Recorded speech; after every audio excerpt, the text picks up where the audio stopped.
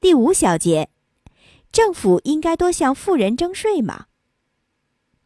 很多人认为政府应该多向富人征税，这样国家能力才能更强，有利于提高公共服务的质量。此外，还能减少贫富差距，使社会变得更公平。但应该去想象，这会牺牲什么？一家企业如果亏损，每亏损一美元就丢了一美元，可盈利一美元却赚不到一美元，因为要刨出税收。如果刨出很多，比如按税率扣掉零点四八美元，那么这就人为增加了这家公司的风险。则企业要么不扩张，要么只扩张风险最低的业务，那么接下来就会裁员，放弃技术更新，因此消费者将买不到更好、更便宜的产品，这就等于他们的实际工资下降了。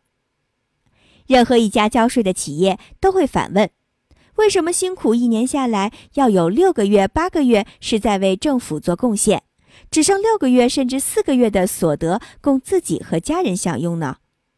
为什么赚钱的时候政府可以拿走，而赔钱的时候只能自己一个人扛呢？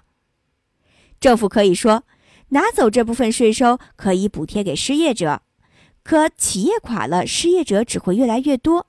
这样的国家能力真是我们所要的吗？耶呼！